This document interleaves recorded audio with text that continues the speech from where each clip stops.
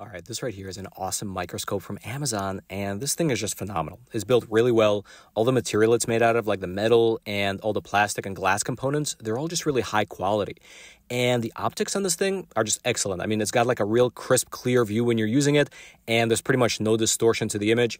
And yeah, I mean, the clarity of the image here is super precise. It pretty much makes even like the tiniest components that you're looking at uh, crystal clear. And yeah, I mean, otherwise the whole unit works really well. The LED lights are strong. Uh, the mechanisms and the dials are real simple to adjust. And yeah, the mechanism works really well. And the dials are really precise as well, which is great. It's really easy to adjust the diaphragm back and forth. I mean, basically, whoever designed this thing just made it easy to use. And yeah, the magnification is absolutely solid. And actually, the base of this unit is built pretty sturdy. So even at like a 1000x, the image is still really stable, which is amazing.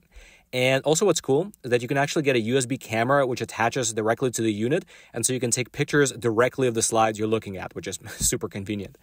And so yeah, I mean, overall, if you need like a real high level of precision, this is a phenomenal microscope.